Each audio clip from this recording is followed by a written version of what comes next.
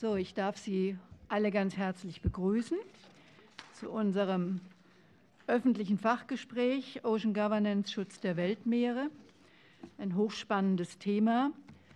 Kolleginnen und Kollegen, die ich vorhin schon begrüßt habe, begrüße ich gerne nochmal die Verbliebenen, die an dem Thema hier arbeiten oder interessiert sind.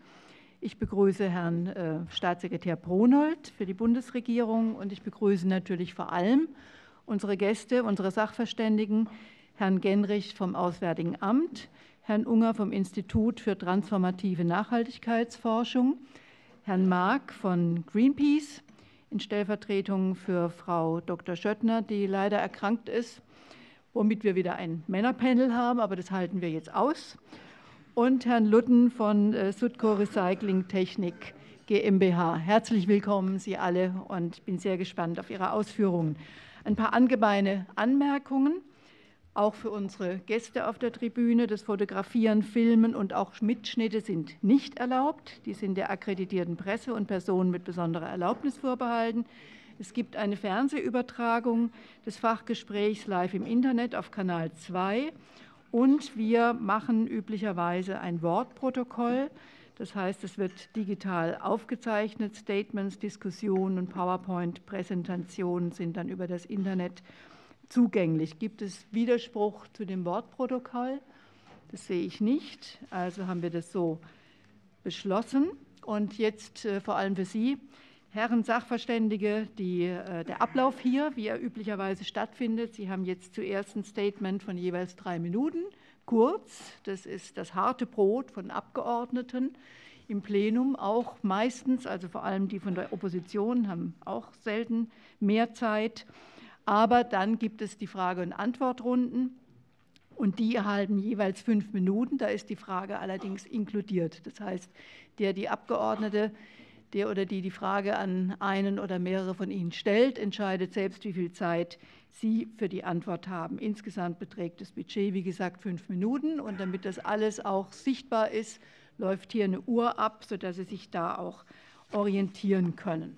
So, und damit können wir ins Thema einsteigen.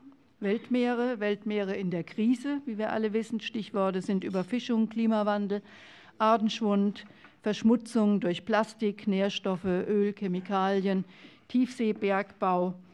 Nicht umsonst ist eines der Nachhaltigkeitsziele der Agenda 2013 der SDGs die, das Nachhaltigkeitsziel für die Meere und Küsten. Das ist das SDG 14. Die hohe See, die fast zwei Drittel der Ozeane ausmacht, liegt außerhalb der Zuständigkeiten der Staaten und wird durch internationale Abkommen bisher kaum geschützt. Nach mehr als zehn Jahren kontroverser Debatten haben die Vereinten Nationen im Rahmen einer zwischenstaatlichen Konferenz im letzten Jahr die Verhandlungen über ein neues Abkommen zum Schutz der Hohen See begonnen. Bis zum Jahr 2020 will man sich auf international verbindliche Regelungen einigen. Darüber wollen wir heute reden und Sie vor allem dazu hören und natürlich auch, was die Rolle Deutschlands dabei sein soll und sein kann. Und damit gebe ich Ihnen, Herr Genrich, das erste Wort für Ihr Statement. Bitte schön. Vielen Dank, Frau Vorsitzende, sehr geehrte Damen und Herren Abgeordnete. Mein Name ist Guido Genrich, ich bin stellvertretender Referatsleiter für besondere Völkerrechtsgebiete im Auswärtigen Amt, darunter auch Seevölkerrecht, und leite in dieser Eigenschaft auch seit 2016 die deutsche Delegation in den Regierungsverhandlungen in den Vereinten Nationen zu dem von Ihnen erwähnten äh, geplanten UNCLOS-Durchführungsübereinkommen für den Schutz der Hohen See, jenseits der äh, nationalen Hoheitsbereiche, kurz auch Biodiversity Beyond National Jurisdiction, BBNJ. Vielen Dank zunächst für die Gelegenheit, hier heute auch aus seevölkerrechtlicher Perspektive Ihnen vorzutragen. Einladend vielleicht der Hinweis, dass schon 1982 bei Verabschiedung des VN-Seerechtsübereinkommens UNCLOS der Meeresnaturschutz ein sehr aktuelles und auch ein zentrales äh, Thema in der Konvention war. UNCLOS hat hier als Rahmenkonvention den Weg in die Zukunft gewiesen, vor allem mit drei Elementen. Erstens mit einem umfassenden Begriff von Meeresverschmutzung, und zwar auch aus, äh, vom Land und aus der Luft. Zweitens mit einer Pflicht aller Staaten zum Schutz aller Meeresgebiete, das heißt innerhalb und außerhalb nationaler Hoheitsgebiete. Und drittens vor allem mit zahlreichen Vorgaben zur internationalen Zusammenarbeit oder sogar zur Gründung von internationalen spezifischen Organisationen, um ausführende Standards oder auch konkrete Maßnahmen je nach Meeresnutzung oder verschiedenen äh, Schutzbedarf ins Werk zu setzen. Und daraus entstand bis heute auf globaler und regionaler Ebene ein dichtes Geflecht von Instrumenten und Organisationen, die sich jedoch jeweils auf bestimmte Schutzgüter oder bestimmte Verschmutzungsarten oder auf bestimmte Meeresgebiete beschränken. Und wenn man einen Eindruck von der nächsten Generation von globaler Meeresgovernance gewinnen will, dann äh, ist durchaus ein Blick auf diesen laufenden Verhandlungsprozess in New York äh, sinnvoll.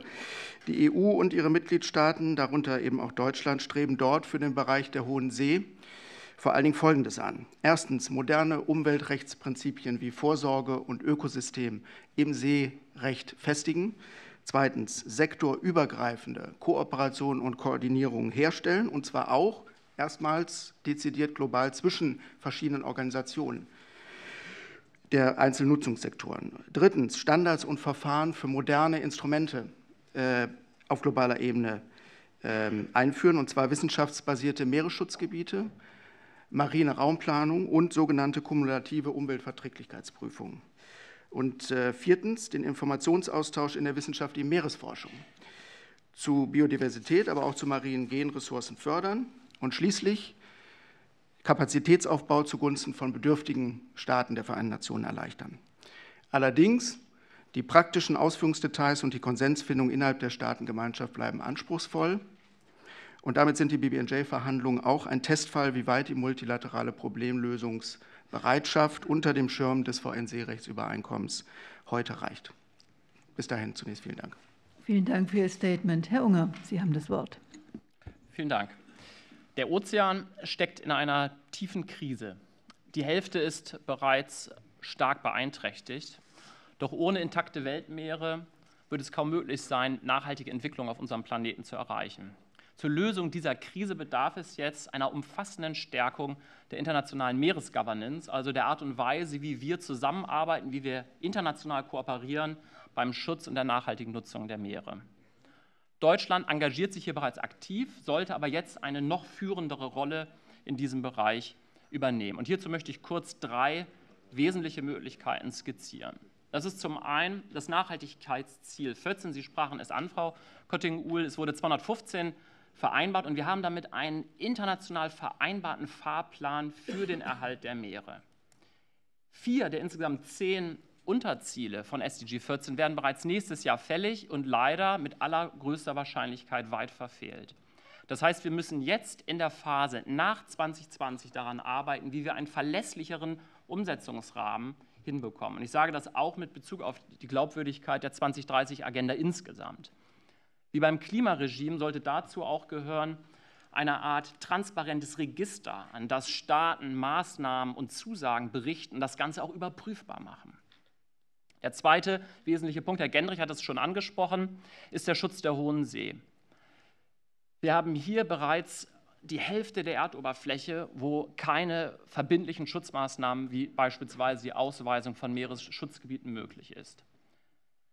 Um ein wirksames Abkommen hinzubekommen, bedarf es jetzt aber auch, ein ganz wesentliches Problem zu lösen, nämlich die Zersplitterung der Zuständigkeiten in der Meeresgovernance. Fischerei, Schifffahrt, Meeresbergbau, aber auch der Meeresschutz werden durch einzelne UN-Organisationen verwaltet, die wenig bis kaum miteinander interagieren. Nicht nur in diesen Prozessen, auch bei den Klimaverhandlungen, bei G7, bei G20 stehen die Meere ganz oben auf der Agenda.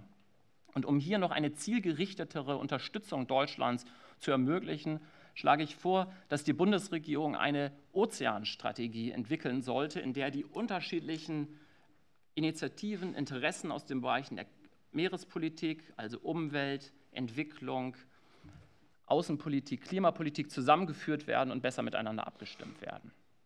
Wenn Sie mir noch mal erlauben, kurz zusammenzufassen, es wären also drei Punkte. Wir brauchen für SDG 14 einen verlässlichen Umsetzungsrahmen von 2020 bis 2030. Wir brauchen das rechtlich verbindliche Abkommen zum Schutz der Hohen See, und zwar eines, was integriert und diese unterschiedlichen Formen zusammenbringt. Und wir brauchen auch eigentlich eine eigene Ozeanstrategie, um uns hier noch besser aufeinander abzustimmen. Herzlichen Dank für Ihre Aufmerksamkeit. Vielen Dank, Herr Unger. Herr Mark, bitte schön, Ihr Statement. Ich hoffe, die äh, Präsentation geht jetzt gleich los. Ich habe Ihnen ein paar Bilder mitgebracht. Vielen Dank für die Einladung, vielen Dank für die Möglichkeit, zu Ihnen zu sprechen. Ich spreche nicht nur in Vertretung von meiner hochgeschätzten Kollegin Dr. Sandra Schötzner, sondern vor allen Dingen ähm, auch für die ähm, NGO-Koalition High Seas Alliance. 41 Mitglieder sind dort organisiert, unter anderem IUCN, der Weltnaturschutzdachverband, die Pew Stiftung und ähm, einige mehr. Es klang schon an, dass die Meere in einer historischen Krise sind. Ich habe ein paar Zahlen dabei. 70 Prozent des arktischen Eises sind mittlerweile geschmolzen. Jährlich schmelzen 280 Milliarden Tonnen Eis in der Antarktis. Ähm, Klimawandeleffekte äh, wie das Korallensterben, wie die Ozeanversauerung sind sicherlich hier Schlüsselworte, auf die ich nicht näher eingehen muss. Es klang gerade schon an, ähm, aus der Wissenschaft ist ein eindeutiges Signal, dass ähm, die Einrichtung von großflächigen, konsequent geschützten Bereichen im Meer, sogenannte Schutzgebiete, die Lösung sind, nicht nur für den Wiederaufbau von den ausgedünnten Fischbeständen, sondern ähm, auch für den Wiederaufbau zerstörter Lebensräume, vor allen Dingen aber auch für die Erhöhung der Widerstandskraft der Ökosysteme gegen die Folgen des Klimawandels. Da geht es vor allen Dingen um den Schutz von sogenannten Kohlenstoffsenken, der Tiefsee, äh, Mangrovenwälder, Seegraswiesen, Korallenriffe und so weiter. Es gibt ähm, internationale Verpflichtungen, ähm, bis 2020 10 Prozent der Weltmeere unter Schutz zu stellen. IUCN, die, das Europaparlament und auch der Bundestag äh, in einer Entschließung vom Juni des vergangenen Jahres ähm, ruft sogar danach, dass 30 Prozent der Weltozeane bis 2030 unter Schutz gestellt werden sollen. Dieses Ziel findet unsere volle Unterstützung. Wenn man sich aber die Realität anschaut, dann stellt man fest, dass ähm, international ein bisschen mehr als äh, 6 Prozent äh, unter Schutz gestellt sind.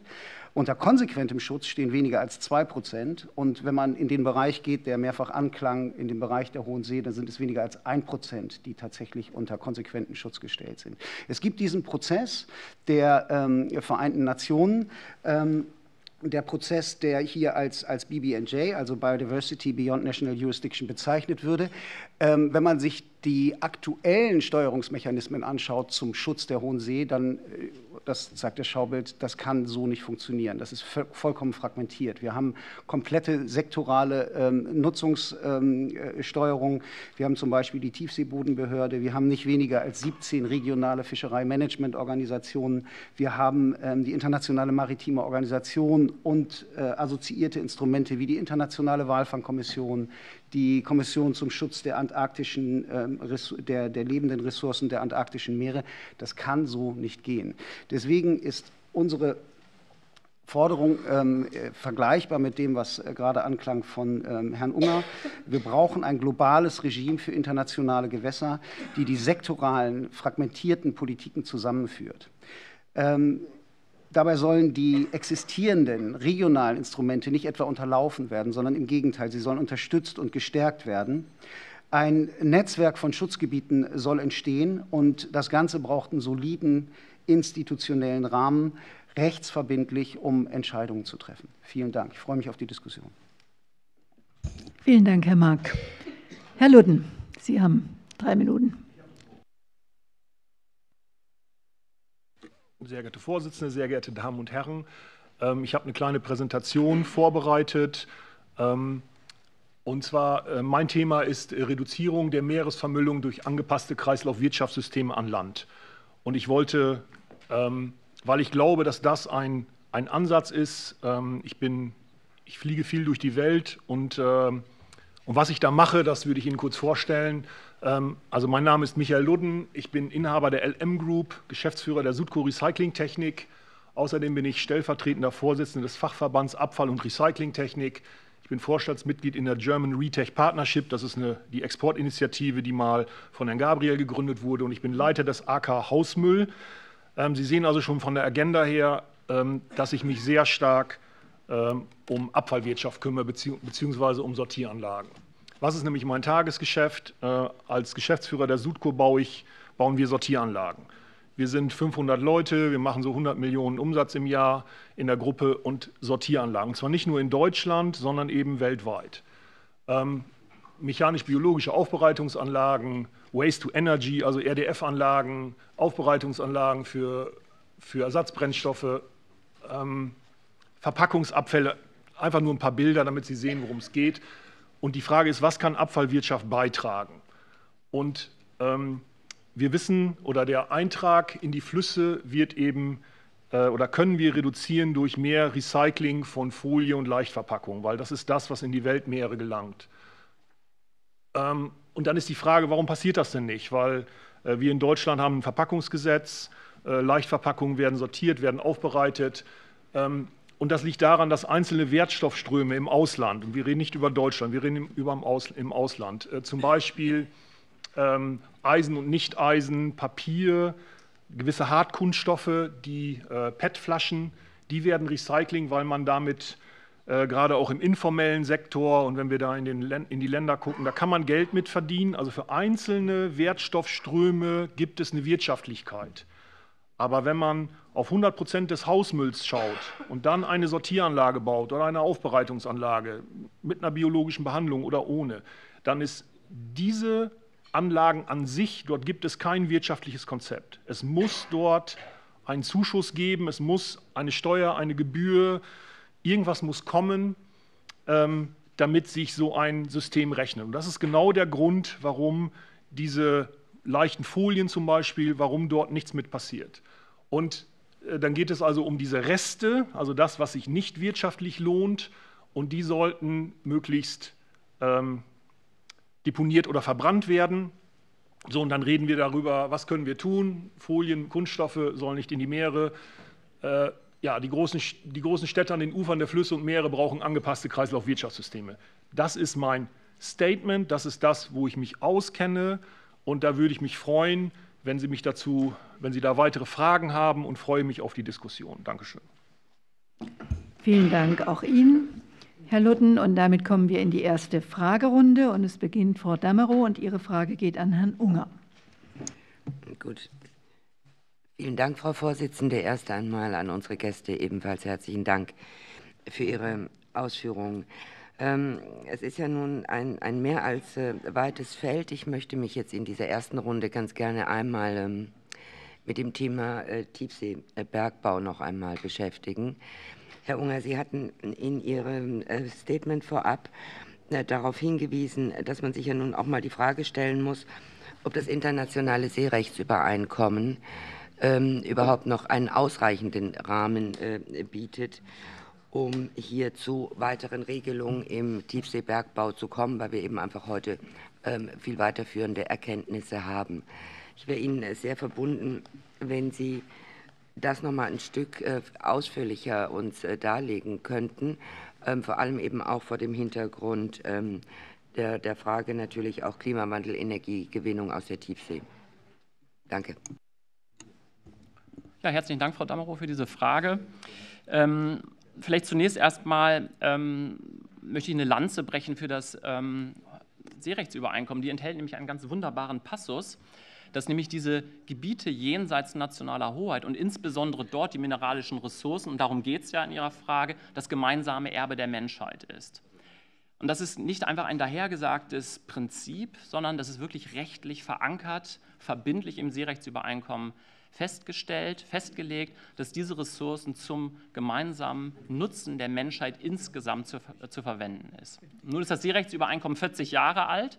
Das heißt, wir müssen auch schauen, wie das Seerechtsübereinkommen zu interpretieren ist im Blick von modernen internationalen Abkommen, wie beispielsweise der 2030-Agenda, wie beispielsweise dem Abkommen über die biologische Vielfalt und insbesondere auch, und darauf möchte ich jetzt hinauskommen, auf die Verhandlungen, die wir führen zum Schutz der Hohen See.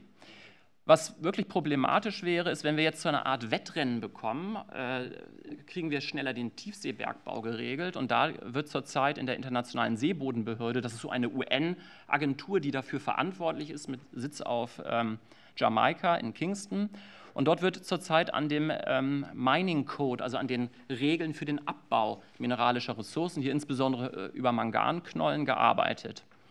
Ähm, was problematisch jetzt ist, wir sprachen über die Fragmentierung, dass diese unterschiedlichen Institutionen nicht miteinander interagieren, wenn wir sozusagen hier in eine Art Konkurrenzsituation bekommen. Ähm, das sage ich auch vor dem Hintergrund, dass wir sehr wenig über diese Gebiete wissen. Äh, erst 5 Prozent des Meeresbodens sind kartografiert.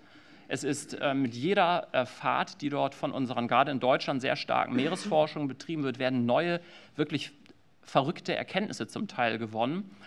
Und ähm, es ist jetzt also eigentlich die Frage, kann man in diese Aktivität einsteigen oder sollte man zumindest so lange warten, bis man diesen Raum wirklich verstanden hat? Und dazu hat beispielsweise die, ähm, das Europaparlament ähm, letztes Jahr eine Resolution gemacht, die zumindest sagen, dass ein Moratorium für den Tiefseebergbau stattfinden sollte, bis das ähm, ausreichende Wissen vorhanden ist. Ähnlich hat auch der UN-Sondergesandte für die Meere, Botschafter Peter Thompson, jetzt zuletzt in Davos argumentiert und gesagt, dass wir die jetzt anstehende UN-Dekade für die Meere nutzen sollten, um hier erstmal herauszufinden, worum geht es, was sind die Risiken und wie äh, sind diese Räume zu schützen. Dankeschön. Wollen Sie noch eine Nachfrage stellen? Ist gut. Dann hat die nächste Frage Herr Schwabe von der SPD an Herrn Genrich. Ja, auch unsererseits herzlichen Dank an die Sachverständigen. Ähm, die Rolle Deutschlands wird ja allgemein, wenn ich das richtig sehe, auch aus der Zivilgesellschaft sehr äh, positiv äh, betrachtet. Ähm, mm, und es gibt ja die Vorstellung, wenn ich, wenn ich das richtig verstanden habe, bei Herrn Unger und Herrn Mark, ähm, dass wir stärkere Mechanismen brauchen, auch als Ergebnis jetzt der internationalen Verhandlungen. Und irgendwo habe ich gelesen, was von einer COP zu sagen und ich kenne das Ganze ganz gut im Bereich des Klimaschutzes ähm, und würde Sie, ähm, Herr Genrich, nach einer Einschätzung fragen, ähm, wo sind eigentlich progressive Partner und wo äh, man hat vielleicht Ideen oder vielleicht sagt, sagt man es nochmal, wer, wer sind Akteure, die eher schwieriger sind auf internationalem Parkett, wo gibt es Akteure, wo wir gemeinsam versuchen ähm, zu agieren, ähnliche Vorstellungen zu entwickeln? Und diese Vorstellung einen Mechanismus zu schaffen, der am Ende eine, eine Verbindlichkeit auch bringt in dem, was man am Ende plätscht oder sowas, also im Rahmen einer COP. Wie realistisch ist denn sowas? Oder sagen Sie, da muss man aufpassen, noch 37 COPs und so äh, kann der internationale Mechanismus gar nicht verpacken? Oder sagen Sie, nein, das ist schon ein realistischer Weg und das ist eine der Optionen auch jetzt für einen erfolgreichen Abschluss äh, der Konferenz? Vielen Dank, Herr Abgeordneter. Ich ähm, sehe vor allen Dingen zwei Fragekomplexe. Einmal, ähm, wo stehen wir mit Partnern oder wo sind auch ähm, vielleicht unter andere Meinungen in der Staatengemeinschaft vorhanden? Und Ihre zweite Frage, wie realistisch ist vor allen Dingen ein globaler, verbindlicher Mechanismus, äh, verkörpert auch durch eine neue Vertragsstaatenkonferenz an eine jährliche Tagung COP. Ähm, fangen wir vielleicht mit der zweiten Frage an. Ähm, die Verhandlungen in New York ähm, folgen einem relativ ähm, ausgiebigen Mandat der VN-Generalversammlung. Das war schon in den, äh, im letzten Jahrzehnt so, als die Arbeitsgruppe getagt hat zur Vorbereitung dieser Staatenkonferenz. Das war schon in den zwei Jahren von 2015 bis 17 so, als, der, Vorbe als die, der Vorbereitungsausschuss, also die Vorverhandlung getagt hat. Und wir befinden uns jetzt erstmals in äh, echten Regierungsverhandlungen über ein rechtsverbindliches neuen völkerrechtlichen Vertrag, der ein Durchführungsübereinkommen unter dem VN-Seerechtsübereinkommen werden soll. Das ist auch kein Novum. Es gibt bereits ein äh, Fischereidurchführungsübereinkommen für äh, Fische, die in verschiedenen Meereszonen unterwegs sind, äh, salopp formuliert. Ähm, das ist ein gängiges Mittel, ähm, auch um die Seerechtskonvention auszufüllen durch bereichsspezifische Standards, durch Mechanismen.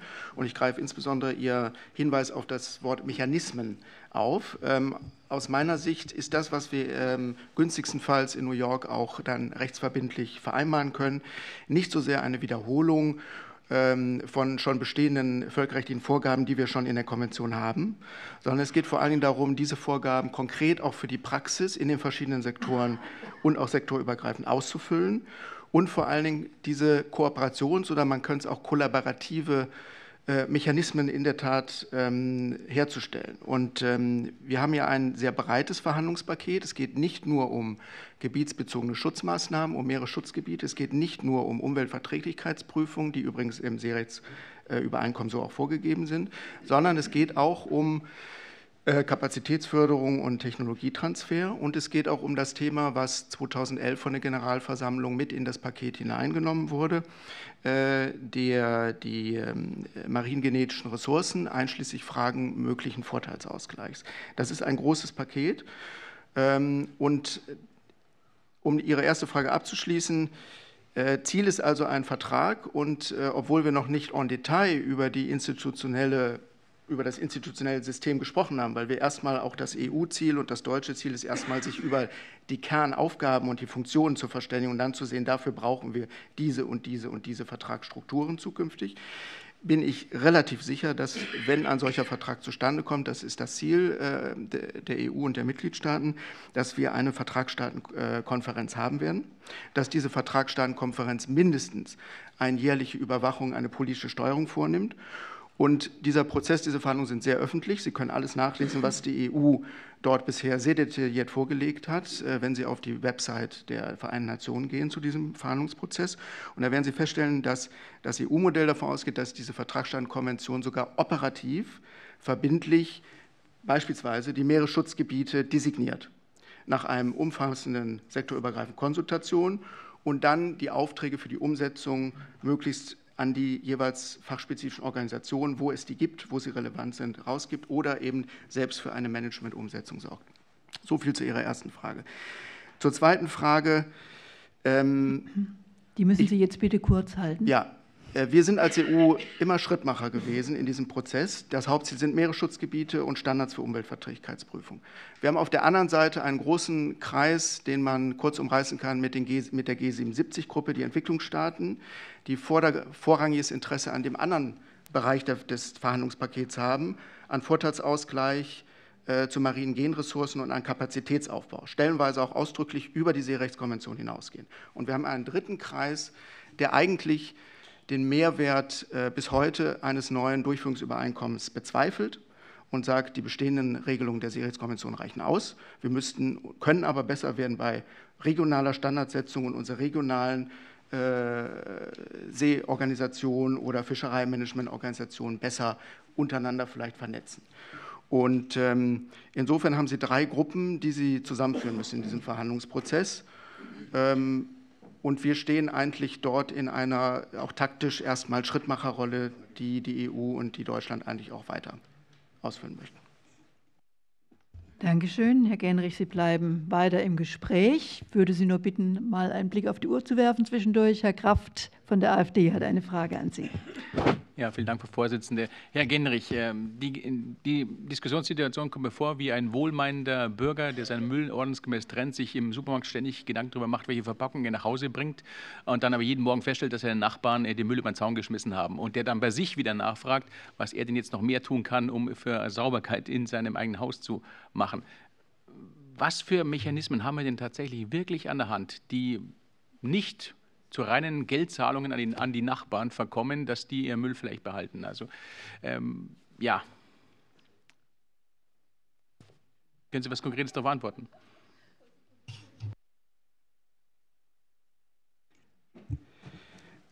Also über Geld ähm, wird im Moment in den Verhandlungen noch nicht gesprochen. Es wird, wie gesagt, auch noch relativ wenig über die äh, tatsächlichen ähm, äh, Vertragsstrukturen, die wir benötigen, gesprochen, sondern es geht erstmal darum, Lehren zu ziehen, wie wir mit modernen Ansätzen das bestehende Seerechtsübereinkommen ähm, umsetzen können. Und dabei ist der Punkt, der schon genannt wurde, sehr wichtig, sektorübergreifende Kooperation. Dabei ist sehr wichtig, auch Transparenz herzustellen. Wir leben ja in einem, in, in, einer, äh, in einem Zeitalter, in dem, und das sehen Sie auch an der Transparenz dieser Verhandlungen, in dem das, was tatsächlich passiert zum Meeresschutz, für jeden nachlesbar und nachprüfbar ist. Da geht es auch sehr stark darum, die Wissenschaft, äh, die wissenschaftliche Erkenntnis über die hohe See und den Tiefseeboden stärker zugrunde zu legen und zu berücksichtigen und zu fördern und nicht abzuwürgen, ähm, auch durch, durch äh, künftige administrative ähm, Auflagen. Und ähm, das ist eigentlich, würde ich sagen, hat nichts mit äh, Hin- und Her äh, schmeißen von äh, äh, Müll oder Belastung zu tun, sondern das ist eigentlich eine, ein klassischer Prozess. Ich habe das vorhin schon erwähnt. Es ist auch nicht das erste Durchführungsübereinkommen, es ist ein klassisches Vorgehen der Vereinten Nationen, äh, wie man bereichsspezifisch für einen bestimmten Problembedarf, den man erkannt hat, hier im Meeresnaturschutz, äh, diese Rahmenkonvention, diese Rahmenkonvention versucht auszufüllen. Wollen Sie noch etwas nachfragen? Herr Kraft? Gut, Dankeschön. Dann stellt die nächste Frage Frau Skodelny für die FDP und sie geht an Herrn Ludden. Ja, vielen Dank. Ähm, Plastikvermüllung bzw. Ja, Hausmüll im, im, Meer ist eines der großen Probleme, die wir versuchen in den ganzen Jahren anzugehen. Und ähm, da wir niemals im Leben so viel rausholen können, egal mit welchen Methoden wir das auch versuchen, wie jährlich als Eintrag erfolgt, muss das Hauptziel, das wir haben, tatsächlich sein, die Einträge in die Meere zunächst einmal zu verhindern. Und ein ganz wichtiger Beitrag dazu ist eben, an Land zu versuchen, dass es überhaupt nicht dazu kommt, dass wir die Meere, die eine natürliche Allmende sind, einfach zur Müllkippe verkommen lassen. Und von dem her fand ich ähm, es sehr interessant, dass Sie gesagt haben, dass wir angepasste Kreislaufwirtschaftssysteme brauchen. Und Sie versuchen ja auch Ihre Recyclinganlagen gerade in asiatischen Räumen, wo die meisten Einträge in die Meere erfolgen, in Klammer ähm, an, das, an, den Mann zu bringen bzw. zu veräußern, dort auch in Zusammenarbeit mit den Regierungen. Mich würde interessieren, welche Herausforderungen sehen Sie da, wo die Probleme sind, warum gegebenenfalls dort diese Kreislaufwirtschaftssysteme äh, nicht in dem Maße, wie sie beispielsweise in Deutschland, in anderen Ländern, in ganz Europa eigentlich existieren, existieren und was wir, wenn wir Verhandlungen führen zur Reinhaltung der Meere, ähm, was wir dort betonen müssen, damit wir künftig verhindern können, dass die Plastikeinträge im bisherigen Maße in die Meere weiter verbracht werden. Ja, danke, danke Frau Skudelny für die Frage. Ähm, ich bin, wenn es, um, wenn es um den Verkauf von solchen Anlagen geht in, äh, in Südostasien, relativ erfolglos. Und ich frage mich schon seit einer ganzen Weile, woran das liegt. Und äh, das ist die Wirtschaftlichkeit. So, aber auch, und es gibt auch sehr viele, also die Wirtschaftlichkeit und es gibt sehr viele Henne-Ei-Probleme, die wir dort haben. Ähm, wenn ich also komme und sage, lass uns mal eine Sortieranlage bauen, dann geht es im Prinzip um den Organikanteil, es geht um einen Teil Wertstoffe, es geht um einen Teil ähm, äh, Eisen, Nicht-Eisen und es geht um einen Teil Ersatzbrennstoffe, die man ver verwenden könnte und es geht um einen Teil Reste. Und äh, gerade in dem Bereich Wertstoffe oder auch ähm, Ersatzbrennstoffe, ähm, da baut jemand nur eine Anlage, wenn er hinten raus auch die, die, den Absatz sieht. Also vorne eine Sortieranlage zu bauen, wo ich nicht weiß, was ich mit dem Output machen kann, ähm, dann passiert das nicht. Und die Abfallwirtschaft ist, ist so äh, organisiert, dass es vorne den gibt, der sortiert, sammelt, trennt. Das sind meine Anlagen. Und dann gibt es den, der äh, ein Hartplastik, sagen wir mal ein HDPE, High Density Polyethylen, äh, der das aufbereitet und da ein Rezyklat draus macht, was wieder in die, was wieder eingesetzt werden kann und was dann auch Virgin Material, also frische, also neues Material aus Erdöl ersetzen kann. Und auch der, der hinten die Anlage, also die, diese zweite Stufe baut, die ist dem Grunde nach wirtschaftlich. Nur der baut keine Anlage, wenn er vorne nicht weiß, dass er mindestens drei Tonnen die Stunde für die nächsten zehn Jahre auch als Input zur Verfügung hat. Ähm, und der, der vorne die erste Stufe baut, der sagt, ja, wenn ich den hinten nicht habe, der mir das Material abnimmt, und dann kommen, kommen diese Henne-Ei-Themen da rein. Und es gibt eben auch diesen Bereich Reststoffe, wo, ich, äh, wo wir zum Beispiel dünne Folien haben, die wir, die wir im Nahinfrarotbereich, und das sind diese äh, das ist das Hauptgerät, womit wir Kunststoffe erkennen können. Also wir analysieren das reflektierte Licht. Äh, darüber kann ich ein HDPE erkennen, aber dünne Folien reflektiert kein Licht. Ähm, das heißt, wir gucken da durch und wenn wir da durchgucken, sehen wir es nicht. Wenn wir es nicht sehen, können wir es nicht äh, können wir es nicht ausschließen. Und genau das Gleiche sind zum Beispiel schwarze Kunststoffe. Schwarz reflektiert kein Licht. Wenn, wenn nichts reflektiert wird, sehe ich es nicht. Wenn ich es nicht sehe, kann ich es nicht rausholen. So, diese Bereiche sind also im Moment, die entziehen sich der Aufbereitung. Dann gibt es Bereiche Multilayer-Kunststoffe, also wo man irgendwas, irgendwelche Sperrschichten einbaut, äh, die sind schwer zu recyceln. Äh, wenn man das weiß, dann werden die ausgeschlossen aus dem Recycling. Das heißt, man, man tut sie in die Reste. In Deutschland wird es dann ordentlich verwertet. Äh, Im Ausland macht da keiner was mit. Wenn keiner da was mitmacht, ja, dann landet ein Großteil davon in den Weltmeer oder in den Flüssen und dann haben wir den Eintrag in die Meere. Das heißt, genau an der Stelle, und wir wissen teilweise auch gerade im Ausland, wir kennen nicht die Multilayer, die dort in den Ländern sind. Wir, wir haben keine Aufbereitungstechnologien dafür. Also dieser zweite Schritt, selbst wenn ich ihn in, in der ersten Stufe erkennen könnte und zur Verfügung stellen könnte, dann gibt es niemanden, der sagt, diesen Multilayer kann ich so aufbereiten, dass ich da ein Rezyklat für zur Verfügung stelle. Und das sind genau diese Themen, woran das dann im Ausland scheitert. Äh, und an der Stelle sage ich, Abfallwirtschaft, auch mit den ähm, mit den Effekten, die wir da im Klimaschutz geben, da können wir sehr viel machen. Wir würden Ocean Governance, äh, also die, die Reinhaltung der Meere würden wir, wir würden aber auch sehr viel für den Klimaschutz tun. Und da gibt es verschiedenste Ansätze und äh, da würde ich mir wünschen, dass man da an der Stelle mehr Druck macht. Dankeschön. Vielen Dank. So, jetzt kommt Herr Lenkert für die Linke und er fragt Herrn Mark. Ja, vielen Dank für die Einführung. Herr Mark, die erste Frage, die ich hätte, wie würden Sie sich eine Struktur bei der UNO vorstellen können, wenn Sie eine Antwort darauf haben, was aus Ihrer Sicht eine effizientere Struktur wäre? Die zweite Frage wäre, wie bewerten Sie aus Sicht von Greenpeace und Ihrer Allianz die Rolle der EU und von der Bundesrepublik bei den Verhandlungen?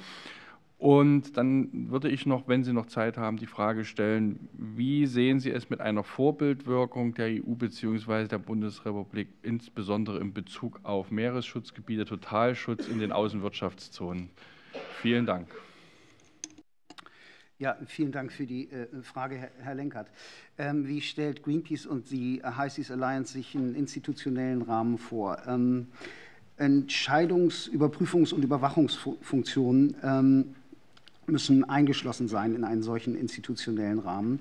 Ähm, gerade klang schon mal an, es muss eine Conference of the Parties geben, ähm, und zwar jährlich, und das ähm, sehen wir genau. Es muss ein Sekretariat geben und einen wissenschaftstechnischen technischen Ausschuss, ähm, der dafür Sorge trägt, ähm, dass äh, Konformität dabei herrscht. Ähm, die Entscheidungsfindung auf Ebene dieser COP muss nicht nach dem Konsensprinzip aus unserer Sicht ähm, passieren, sondern ähm, über die qualifizierte Mehrheit. Wenn man sich die ähm, Diskussionen anschaut, die wir hatten bei der ersten ähm, Konferenz ähm, im September des vergangenen Jahres, wurde schnell klar, dass die äh, Positionen ähm, unterschiedlicher nicht sein können. Auch Herr Genrich hat das gerade ansatzweise ausgeführt die, ähm, äh, es, es, braucht einen ähm, global verbindlichen Prozess für die Durchführung von Umweltverträglichkeitsprüfungen. Und ähm, es braucht natürlich faire Regeln für den, für den Zugang zu ähm, und die gerechte Aufteilung der Vorteile aus der Nutzung äh, äh, mariner genetischer Ressourcen. Ähm, vor allen Dingen brauchen wir aber auch, und das klang auch vorhin schon mal an, äh, moderne Grundsätze der Meerespolitik. Das heißt, ähm, Ökosystem, äh, ökosystemarer Ansatz, äh, Vorsorgeprinzip, äh, Transparenz, Rechenschaftspflicht und so weiter.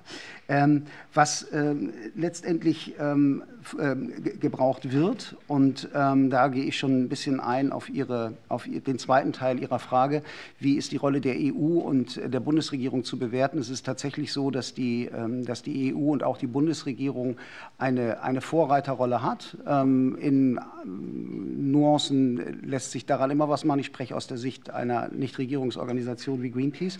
Aber es ist ähm, sicherlich so, dass ähm, das äh, ähm, schon ähm, auf einem auf einem sehr guten Weg ist. Wichtig, und das ist ähm, nochmal herauszustellen, ist, dass Konsensentscheidungen auf dieser Ebene leider nicht funktionieren. Ich werfe einen Blick zurück in den November des vergangenen Jahres. Da ging es auf Ebene der Antarktiskommission um die Einrichtung des größten Meeresschutzgebietes der Welt.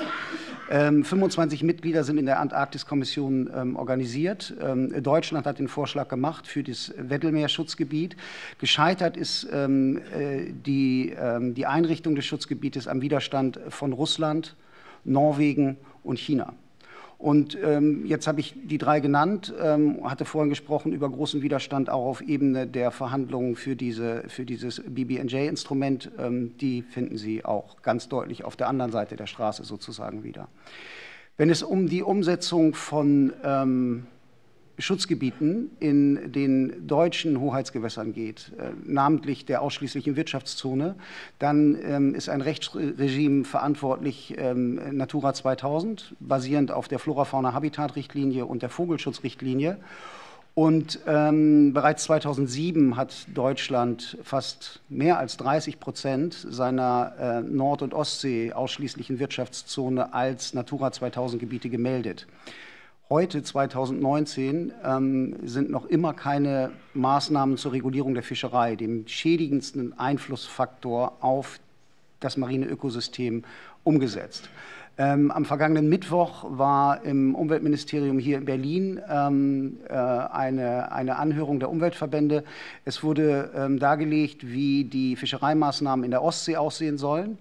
Dabei hat man sich ausschließlich auf Bodenschleppnetze kapriziert und hat die Stellnetze nicht mit berücksichtigt. Die sind hauptverantwortlich für den Beifang von Tausenden von tauchenden Seevögeln und äh, von Hunderten von Schweinswalen. Die in den eingerichteten Schutzgebieten nach wie vor beigefangen werden, in den Netzen ertrinken und Kollateralschäden der aktuellen Fischerei sind. Ähm, das wirft ungefähr ein Bild, ähm, wie die Umsetzungen in den nationalen Gewässern sind. Zuletzt sei gesagt, die EU-Kommission hat ein Vertragsverletzungsverfahren gegen Deutschland angestrengt, eben wegen Nichtumsetzung der Natura 2000 Gebiete. Aber das ist regional europäisch. Wir hoffen sehr, dass international auf Ebene der äh, BBNJ-Verhandlungen Deutschland bei diesem starken Verhandlungskonzept äh, und Mandat bleibt. Vielen Dank, Herr Mark. Und Sie bleiben auch gleich dran. Frau Lemke von den Grünen fragt Sie und Herrn Unger. Ja, ich möchte mich zunächst bei den Sachverständigen für die Vorabstellungnahmen bedanken, wo Sie die historische Krise der Meere ja noch mal beschreiben und mich auch beim Ausschuss insgesamt bedanken, dass wir dieses Fachgespräch heute durchführen, weil ich mir davon verspreche, dass es den Prozess, äh, der zu einem solchen Abkommen auf internationaler Ebene führen kann, auch von Seiten des Parlaments doch befördern und äh, unterstützen kann. Das wäre zumindest meine Hoffnung. Die konkreten Fragen an Sie beiden, vielleicht können Sie sich aufeinander beziehen und ergänzen. Was sind die Haupthemmschuhe, die Sie gegenwärtig sehen als Widerstand gegen dieses Abkommen, was man ja vom gesunden Menschenverstand her unterstützen müsste, auch angesichts der Zersplitterung der gegenwärtigen Zuständigkeiten, die Sie, Herr Mack, hier noch mal dargelegt haben? Was sind die Haupthemmschuhe? Äh, was wären möglicherweise die Instrumente, um diese wegzunehmen und was wären auf der Zeitschiene die wichtigsten Milestones, über die Sie uns vielleicht hier auch noch mal informieren wollen, damit wir diesen Prozess weiter begleiten können? Vielen Dank, Frau, Frau Lemke, für, für diese Frage. Ähm, zunächst erstmal auf die Widerstände, auf die Sie ähm, hier abzielen. Es ist so, dass ähm, wir mit diesem neuen Abkommen einen wirklich neuen Ansatz für die Hohe See vereinbaren wollen. Es geht also wirklich darum, wegzukommen von dem bisher, ich sagte das in meinem Eingangsstatement auch, von diesem Ansatz, dass innerhalb von Sektoren, also die Fischerei, wirklich nur die Fischerei ähm, reguliert. Die ähm, Organisationen, die sich um den Tiefseebergbau kümmern, nur den Tiefseebergbau machen und so weiter. Und hier jetzt einen umfassenden und integrierten Ansatz hinzubekommen, das ist aus meiner Sicht die die ganz zentrale Herausforderung ähm, und das ist auch der Kern für Widerstände von Ländern, beispielsweise die primär Fischereiinteressen haben auf der Hohen See, die natürlich auch argumentieren, es gibt, Herr Genrich sprach das an, das, das UN Fish Stocks Agreement, unter dem Maßnahmen getroffen werden, um Auswirkungen der Fischerei zu ähm, regeln. Die Tiefseebergbauseite argumentiert ganz genauso. Die Umweltauswirkungen werden dort geregelt und so weiter. Und am Ende des Tages besteht natürlich ähm, schon auch das Risiko, dass wir hier ein Abkommen äh, vereinbaren, in dem Meeresschutzgebiete ausgewiesen werden, die dann nicht gemanagt werden können, weil das Management innerhalb dieser anderen Sektororganisationen liegt. Und das ist wirklich die große Herausforderung. Das ist nicht einfach. Das ist auch verhandlungstechnisch nicht, wirklich nicht trivial, aber hier sieht man genau die Widerstände von Ländern, die eben, wie gesagt, da ihre eigenen Interessen haben. Wie diese wegnehmen, das ist ähm, bis 2020 haben wir den ähm, Verhandlungsprozess jetzt erstmal so festgelegt. Das ist also nicht mehr viel Zeit. man muss sehen, wie weit man dort kommt. Aber zeitgleich ist es aus meiner Sicht auch ganz zentral, Herr Mark hatte das kurz erwähnt, es gibt bereits ja Institutionen, die auf der Hohen See auch nicht ausreichen, aber doch auch aktiv sind. Ich, wir erwähnten die Fischerei, es gibt aber auch Naturschutzorganisationen wie die OSPA-Kommission. Solche Instrumente müssen parallel gestärkt werden um jetzt schon, ähm, sage ich mal, Fortschritte zu erzielen, aber auch um dann später diese unterschiedlichen Sektoren mit einzubeziehen. Und da braucht es einen cleveren Mechanismus in diesem Abkommen. Vielleicht soweit erstmal, Thilo. Ja, ja, vielen Dank. Ich kann dem ähm, wirklich nur beipflichten. Ähm, vielleicht so ein bisschen eine, eine, visionäre Sache auf diesen, ähm, äh, visionärer Blick auf, auf, diese, ähm, auf, die, auf diese Sache und als Antwort. Ähm, ich glaube, die, die Hohe See wird immer gesehen, dass sie niemandem gehört. Und ich glaube, wir müssen dazu übergehen, dass sie uns allen gehört. Und das ähm, bedeutet auch Verantwortung dafür zu übernehmen. Und aktuell ist die Herangehensweise so, dass auf der Hohen See, und das Rechtsregime geht zurück auf das 17. Jahrhundert, alles erlaubt, ist, was nicht explizit verboten ist. Das heißt, wir haben sektorale Instrumente, die unter bestimmten Voraussetzungen die Fischerei regulieren können. Wir haben bestimmte Instrumente, die, ähm, die, die unter bestimmten Voraussetzungen die, die Schifffahrt regulieren können, die Schutzgebiete einrichten können. Aber was wir letztendlich brauchen, ist eine Sichtweise auf die Meeren, Meere, dass letztendlich alles, was nicht explizit erlaubt ist, verboten bleibt. Und das ist, glaube ich, ein kompletter Shift in der, in der Herangehensweise und ein Paradigmenwechsel, den wir, glaube ich, ganz dringend brauchen. Und all das, was, was Sebastian Unger ausgeführt hat, über die, die, die sektoralen Ansätze der, der Meeresgovernance, die wir, die wir zurzeit haben, ähm, die Unfähigkeit dieser Instrumente, und das zeigt die, die aktuelle Situation, die Unfähigkeit dieser Instrumente, Meeresschutz tatsächlich zu gewährleisten, das müssen wir ganz dringend auflösen. Vielen Dank. Wir kommen damit in die zweite Fragerunde und Herr Schulze eröffnet sie für die Union mit einer Frage an Herrn Genrich. Ja, schönen Dank, Frau Vorsitzende. Auch meinerseits Dankeschön für die Eingangsstatements der Sachverständigen. Äh, meine Frage ist zweigeteilt. Äh, wir haben ja seit dem 01.01.2017 die Unterstützung des Rossmeeres. Hier hat ja Deutschland auch eine wichtige Rolle gespielt kann man nach zwei Jahren in Sachen Vollzug schon äh, Informationen geben? Wird es kontrolliert? Gibt es irgendwelche, ich sag mal, markante Ereignisse, die den Schutzzweck entgegenstehen? Und die zweite Frage ähm, dahingehend, ähm, das ist also nicht so gut gelaufen mit dem Weddellmeer. Wir hatten ja einen fraktionsübergreifenden Antrag noch äh, beschlossen. Leider äh, ist das ja gescheitert, wie das erst schon erläutert wurde. Sehen Sie Chancen, dass wir in, in absehbarer Zukunft das Thema noch mal aufrufen können und hier vielleicht doch einen Erfolg erzielen? Danke.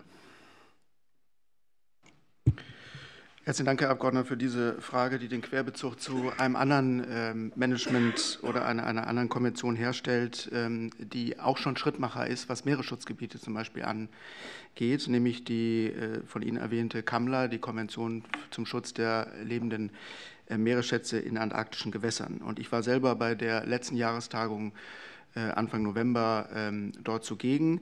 Äh, beide von Ihnen ähm, angesprochenen Punkte sind nicht so verlaufen, wie die Europäische Union und auch äh, Deutschland sich das äh, in ihren Forderungen vorgestellt hat. Ähm, das Rossmeer, ja, es ist verabschiedet, ähm, der Rahmen ist da, aber es geht insbesondere um die Ausfüllung des sogenannten Managementplans und auch des Überwachungsplans der sogenannten Research and Monitoring Plan, also wissenschaftsbasierte Nachhalten, ob die Schutzziele auch erreicht werden, die für das Rossmeer vereinbart worden sind. Und äh, diese Ausfüllung ist abhängig von freiwilliger Unterlegung durch Wissenschaftler aus den verschiedenen Konventionsstaaten. Und äh, die Amerikaner, die zusammen mit Neuseeland dieses äh, Übereinkommen damals initiiert hatten und auch vorgelegt hatten, das dann angenommen wurde in Kamla, ähm, hatten dazu auf der diesjährigen Tagung einen konkreten Vorschlag für diesen Managementplan vorgelegt. Er ist im Wesentlichen, das darf man glaube ich sagen, das äh, wurde auch äh, in den Medien breit berichtet, ähm, an den Widerständen zweier äh, Delegationen gescheitert, vor allen Dingen Russlands und Chinas.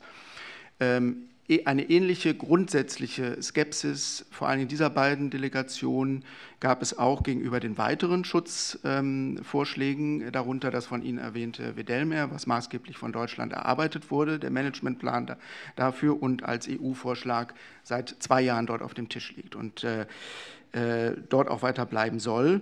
Ähm, und ähm, das stellt einen unmittelbaren Querbezug her auch zu dem, über das wir gerade gesprochen haben, nämlich die Hochseeverhandlungen, BBNJ. Denn beide Staaten, Russland hat auch ausdrücklich Bezug genommen auf diesen Querbezug und hat gesagt, wir sind nicht überzeugt von dem Ansatz Meeresschutzgebiete. Ähm, und wir sind auch nicht überzeugt, dass in der vorliegenden Form das, was Kamla schon beschlossen hat, mit Russland zusammen und mit China, äh, diese Research- und Monitoring-Pläne wirklich in der jetzigen Form zielführend sind. Ich würde sagen, ähm, es ist schwer auszumachen, was dahinter Taktik, was Politik ist und was fachliche Bedenken sind. Wenn man äh, die Sache von den fachlichen Bedenken angeht, dann deutet das darauf hin, dass es wichtig ist, alle Staaten mitzunehmen, ähm, ihnen auch Kontrolle zu ermöglichen, gerade wenn man solche großen Meeresschutzgebiete einrichten will, die alles integrieren sollen oder nicht integrieren, sondern die verschiedenen Akteure zusammenführen sollen. Und ähm, das ist etwas, wo wir einerseits die Ambitionen äh, glaube ich, weiter, gerade weil Kamla eine Vorreiter äh, und einem, in einem sehr sensiblen Ökosystem operiert, eine Vorreiterfunktion hat, die wir auch in der EU ähm, als Modell benutzt haben für, den, für das Konzept der Meeresschutzgebiete, das, Ambition dort, das Ambitionsniveau weiter hochzuhalten, aber gleichzeitig auch darüber nachzudenken, wie wir en Detail sehr wie es funktionieren kann, Herr Unger hat es schon gesagt, das ist herausfordernd. Sie müssen verschiedene Akteure mit zusammenführen, sogar vorher zusammenführen. Kammler ist immerhin eine monosektorale oder eine bisektorale Organisation, Naturschutz und Fischerei. In New York, BBNJ, wollen wir möglichst alle Sektoren mit über das Instrument Meeresschutzgebiete zusammenführen. Das ist anspruchsvoll und ähm, deswegen, ich bin Ihnen sehr dankbar für diese Frage, müssen wir auch beobachten, was in diesen sektoralen Organisationen vor sich geht und was wir dort hören von Staaten, die offensichtlich ähm, Bedenken haben gegen diesen Ansatz oder die zumindest äh, stark beteiligt und Kontrolle haben möchten, wenn wir solche umfassenden Schutzansätze ins Werk setzen. Vielen Dank, Herr Genrich. Die nächste Frage geht auch an Sie von Herrn Tews für die SPD. Ja, vielen Dank, Frau Vorsitzende. Ähm, Thema war ja gerade schon der Eintrag von Müll, insbesondere Plastikmüll, in die Weltmeere. Ähm, ich glaube, es ist ganz wichtig, dass wir den Eintrag über die Flüsse, die Küstengebiete auf alle Fälle stoppen. Und ich glaube auch, dass Recycling die einzige Lösung ist, weil wenn man mal sieht, äh, was sie zurzeit machen, äh, beziehungsweise auch deponieren, dann ist Verbrennung sicherlich, sage ich mal, auch aus finanziellen Gründen oft gar keine Alternative. Meine Frage zielte aber eigentlich auf die Erfahrung, äh, die wir hier auch, waren ja viele mit dabei, auch bei internationalen Konferenzen gemacht haben. Wir waren auf der Oceans Conference 2017 in New York und da gab es ja auch eine ganze Reihe von freiwilligen Vereinbarungen. Wir haben ja gerade gehört, wie schwer das ist, internationale Abkommen dann auch wirklich zu schließen. Ähm, insofern wäre meine Frage, gibt es da eigentlich mal so ein Monitoring, was die freiwilligen Vereinbarungen, die dort viele Länder ja auch äh, getroffen haben, auch Deutschland, was sie jetzt wirklich gebracht haben? Gibt es da irgendeinen Überblick oder so? Also da, wo man eben auch noch keine internationalen Vereinbarungen hat. Und die Meeresvermüllung wird ja eben insbesondere auch durch den internationalen Schiffsverkehr vorgenommen. Also wenn man sich mal ansieht, was für Regeln es da gibt, dann sind das herzlich wenige. Herr Mack hat das ja gerade mal angesprochen. Ja. Das heißt, ich kann mich noch erinnern, es gab zwei Abfallschlüsselnummern, eins geht unter, eins schwimmt oben. Ja. Da sieht man schon mal, dass es auch, sage ich mal, da natürlich einiges möglich ist, auch bei der Entsorgung quasi von Müll auf den, auf den Weltmeeren. Auch die Fischerei spielt da eine Rolle. Da frage ich mich natürlich, äh, wie kann da überhaupt wirksam eine Kontrolle durchgeführt werden? Das geht ja eigentlich nur über die Häfen, so nach dem Motto, wenn ich keinen Müll mitbringe, ja, dann habe ich ihn auf dem Meer entsorgt und dann habe ich den Nachweis schon geführt. Aber dafür brauchen wir dann eben ja auch eine internationale Kontrolle und auch einen Abgleich der Daten überhaupt. Also wie gesagt, was ist aus den freiwilligen Vereinbarungen geworden? Gibt es da schon erste Erfahrungen und äh, wie wirksam sind solche freiwilligen Vereinbarungen? Vielen Dank. Ähm, die erste Frage bezieht sich im Wesentlichen auf die Umsetzung, ähm, die praktische Umsetzung, politische Umsetzung des SDG 14 Ziels ähm, oder der Unterziele. Es sind ja verschiedene Ziele. Der Ungar hat darüber auch schon gesprochen. Sie haben gerade erwähnt, es gab eine, eine äh, erstmalige hochrangige Meereskonferenz der Vereinten Nationen 2016, die im Ergebnis ähm, drei Dinge angestoßen hat. Erstmal einen sogenannten Call for Action, also ein Aufruf, jetzt wirklich diese Ziele, auch bis die ja auch Fristen gebunden sind, ähm, anzugehen, aber nicht dabei stehen zu bleiben, sondern gerade über das Instrument freiwilliger, das geht auch über die Staaten hinaus, zivilgesellschaftlich freiwillige Commitments ähm, zu leisten und auch Dialogformate für, Formate für bestimmte Sektoren einzurichten. Und ähm, es haben sich beim Ausgang der Konferenz mittlerweile zwei Staaten bereit erklärt, diese Konferenz, dieses Konferenzformat fortzuführen. Das wird, äh, soll in diesem Jahr passieren. Das sind Portugal und Kenia. Ähm, wir stehen da erst am Anfang der, der äh, Ausarbeitung der genauen Zielrichtungen. Ähm, ich glaube, das Ziel der EU wird sein, dass wir dass das ein sehr zentraler Punkt wird, das, was Sie angesprochen haben, dass wir uns genau ansehen, was ist mit den vielen, es waren ja mehrere hundert Voluntary Commitments, die äh, eingereicht worden sind, was ist da eigentlich konkret daraus geworden ähm, und diese politische Steuerung sicherzustellen. Und das ist ein Instrument, wirklich von ganz oben aus der Vogelperspektive politisch zu schauen, wie läuft das, wo müssen wir nachsteuern, welche Instrumente sind auch sinnvoll. Ich würde aber nicht so weit gehen und sagen, das eine ist besser als das andere. Ich glaube auch selbst im BBNJ-Rahmen dass auch das wird in gewisser Weise diese Konvention eine Rahmenkonvention sein, die auch die, die etwas machen wollen, ähm, die Ressourcen haben, auch dazu animiert, speziell an dem Thema Schutz der Hohen See und Tiefsee ähm, Tiefseeboden einen, einen, politischen Bezugsrahmen zu haben. Nicht nur ein verbindlich, verbindliche Vorgaben, sondern Mechanismus, in denen sie das auch ausführen können. Bestes Beispiel Kooperationsplattformen, die es so bisher nicht gibt für diesen spezifischen Bereich. Und Ihre zweite Frage zum Plastikmüll kann ich wenig ergänzen zu der, ähm, zu der Schilderung der Situation, die Sie selber schon vorgenommen haben. Das ist aus der völkerrechtlichen Perspektive ein sehr schwieriges regulatives äh, Thema für Regulation, weil ähm, es gilt natürlich das so berühmte Verursacherprinzip. Ähm, wenn Sie sich die Abbauprozesse von, von Plastikpartikeln ansehen, die im, letztlich in den Ozeanen und im Meer äh, sich wiederfinden, dann sehen Sie, das sind sehr lange Prozesse. Sie haben gerade selber gesagt, der Eintrag kann aus sehr, sehr unterschiedlichen Quellen kommen. Auch die Partikel selber sind sehr, sehr unterschiedlich. Ähm, was wir bisher haben, der Stand ist sehr rudimentär, würde ich sagen, völkerrechtlich. Wir haben bei äh, Überbordbringen äh, von Plastikmüll von Schiffen, äh, nach meinem Wissen, haben wir ein Protokoll zur, zur äh, MARPOL, also der Konvention, die sich mit Schiffsverschmutzung ähm, auseinandersetzt. Wir haben verschiedene Diskussionsansätze. Äh, ob die zur Regelung führen, wird man sehen, verbindlichen unter sektoralen Instrumenten. Aber ähm, das ist der Status quo im Moment. Und ähm, Hinzu kommt, dass das eine Land, eine im Wesentlichen landbasierte äh, Verschmutzungsquelle ist. Ähm, auch das ist, insofern ist die Kon Konvention modern, in einem eigenen Absatz vorgesehen in der Seerechtskonvention. Und dort wird abgestellt, dass die Vertragsstaaten selber national Gesetze machen müssen, sich möglichst regional verständigen müssen. Da kommen wir vor Dingen zum besonderen Küstenschutz. Aber es ist auch dort gesagt, dass sie zu einer internationalen Konferenz zusammentreten können und versuchen können, das äh, Thema sogar völkerrechtlich bindend zu regulieren. Dankeschön. Und die nächste Frage geht auch an Sie, Herr Genrich. Herr Wildberg von der AfD, bitte. Ja, Herr Genrich, ähm, Sie haben ja schon gerade äh, aufgrund der vorhergehenden Frage einiges ausgeführt, was die Durchsetzung dieser Schutzmaßnahmen und Kontrolle dieser Schutzmaßnahmen anbelangt. Zu unserem Bedauern ist der Schutz unserer Meere äh, im Moment noch sehr stiefmütterlich und in einem unerträglich kleinen Zustand. Und wir sind der Meinung, äh, dass wir den Schutz unserer Meere auch jenseits von nationalen und wirtschaftlichen Interessen durchsetzen müssen. Das ist äh, letztlich auch eine globale Überlebensfrage. Ich bin jetzt mal optimistisch und nehme mal an, dass trotz zersplitterter Zuständigkeiten, die ja der Herr Unger zum Beispiel auch schon ausgeführt hat, sich in absehbarer Zeit auch mal eine Einigung der Schutzmaßnahmen ergeben könnte dann ist es natürlich ganz wichtig, bei der Umsetzung der Schutzmaßnahmen auch zu berücksichtigen, dass diese Maßnahmen auch eingehalten werden. Und ich hätte ganz gerne mal Ihre Vorstellungen in Erfahrung gebracht, äh, die Sie haben, wenn es um die Kontrolle äh, dieser Schutzmaßnahmen oder Sanktionierung bei Verstößen gegen diese Schutzmaßnahmen, äh, wenn es darum geht. Und da wäre natürlich neben äh, dem guten Willen, alles die Meere zu schützen, ist das natürlich ein essentieller Bestandteil, dass man dann diese Schutzmaßnahmen auch wirksam und plausibel durchsetzen muss. Und da hätte ich gerne noch mal von Ihnen gehört, welche Instrumente Ihnen da so vorschweben.